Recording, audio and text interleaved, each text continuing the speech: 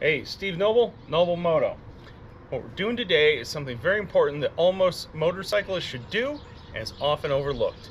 Check your tire pressure. Now, a lot of people on forums ask, you know, what type of tire, what type of pressure should I be riding in your bike? And you're gonna get an assortment of answers. Here's the honest to God, straight up truth of what pressure you should be riding in your tire, how to find out what the pressure is, what it should be, and this applies to any bike even your car. It's all pretty much the same procedure. So here on the sidewall, uh, you will see a bunch of numbers. And uh, one of the numbers you'll say something about like max PSI at, and it'll give a load. Um, so we're going to find those numbers on the side of it. We're going to see what it says, and then we'll actually check the pressure on there, and we'll need to make some pressure adjustments if they need to be made. So let's move in closer. So if you look here on the sidewall, it says max load uh, something kilograms. I'm reading it upside down, and I think it's 265 kilograms or 584 pounds. That's at a cold pressure of 41 psi, pounds per square inch. So that is the maximum amount of pressure you want to have in this tire when it's cold. Now, manufacturers recommend you run approximately 75% to 90% of your max PSI.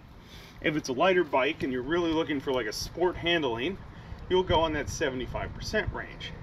Uh, if you're traveling, commuting, things like that, you're better off keeping it up towards the 90% range. Now, if you remember from math class, to calculate out uh, your 90%, it'd be 41 times 0.9, and that is 36.9 psi. Obviously, you have a little bit of error, room for error here. But the main thing we're going to go for is this tire, the ideal pressure to run in this tire is about 36 psi.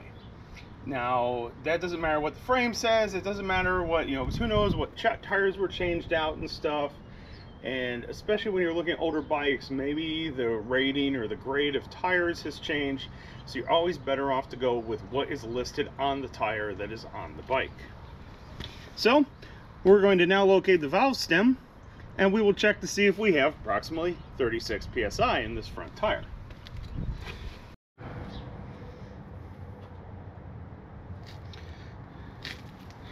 All right, now that we've stepped back uh, from the tire, we can actually look at the entire tire and wheel itself.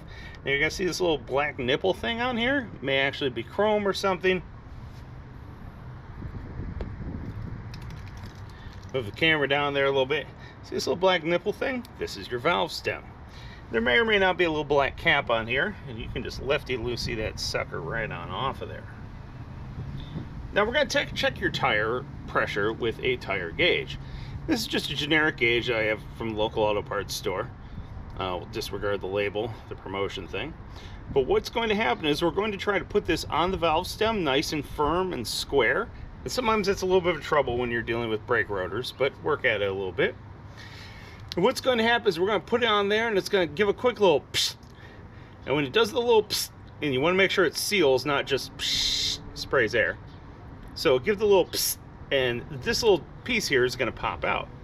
And we can look at the side of it and it has the PSIs listed on here, or bar if you want to be metric about it. Uh, but it has the PSI listed on here, and wherever it stops at, that is going to be our PSI. So approximately right there, that would be 32 psi. What we're actually looking for is 36. So right about there would be about 36 psi. After you check it each time, push it all the way back in. So try to aim to get this square down on there. Give it a quick push down. It should pop out right there. Now, turns out this tire only has 20 psi in it. That's pretty low. Um, now, all tires do kind of leak a little bit on their own. Um, and apparently this one has been leaking with the temperature change and stuff outside. So if I ran this, if I went out and rode this thing, maybe it might initially feel okay. If it really started pushing into corners, I might lose a little traction ability. And also the tire could be squishing down and springing back out as it rolls around with the load on it. And that can lead to cupping, which is uneven tread wear. Um, cupping is where you get kind of a little sawtooth finish down the uh, tread of your tires. So we're going to fill up this tire to where it needs to be. To do that, we're going to use an air compressor. All right, so now what we're going to do is we're going to put some air in here. So I have a standard tire chuck here uh, for Schrader valve, if it matters. But the important thing is they have this little plunger here in the center. We'll push on a little bit. That actually lets the air out. That little rubber piece around the back side there seals it. So we're going to try and push that down on the top of the valve stem.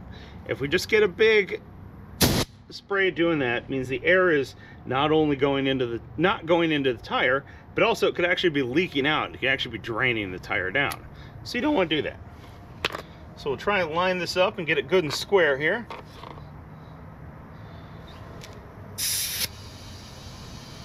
now we're just going to give it a few seconds it's hard to know so we're just to give it a few seconds there and we're going to check and see where we're at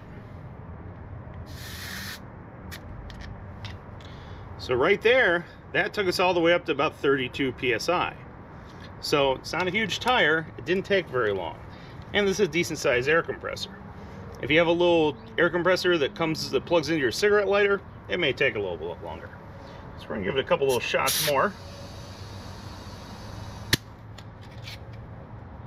And as you can see, the sidewall doesn't change. So looking at the sidewall is not a good judge of how your tires are doing, pressure-wise. There's 35 PSI. You can see it's sitting right on the bottom of the 35 mark. Move it out a little bit.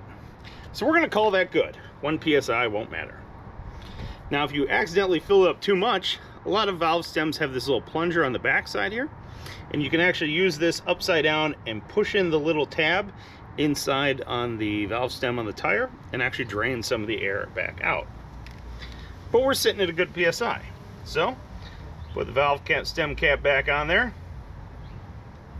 Just snug it down finger tight. Now we're gonna check the back one and we're ready to go ride. That's all I got.